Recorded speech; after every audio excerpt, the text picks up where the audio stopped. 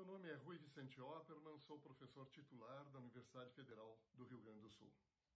É uma verdade axiomática que a educação é essencial para o desenvolvimento, mas, para tanto, é necessário um modelo de desenvolvimento que tenha a legitimidade da sociedade e a responsabilidade de estados e governos.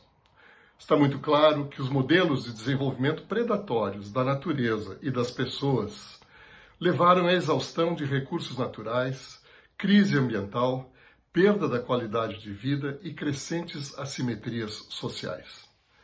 Enquanto alguns sonham buscar novos planetas, outros propõem a superação das inequidades geradas pela irracionalidade de modelos econômicos ainda hegemônicos. Os Objetivos de Desenvolvimento Sustentável e a Agenda 2030 são um chamamento que a ONU faz para que as sociedades humanas se humanizem frente à fome, pobreza, poluição, preconceitos e injustiças. A educação é o objetivo número 4, mas está muito claro que a educação superior tem responsabilidades em todos os 17 objetivos. E assim, somos essenciais a um modelo também essencial para a vida na Terra.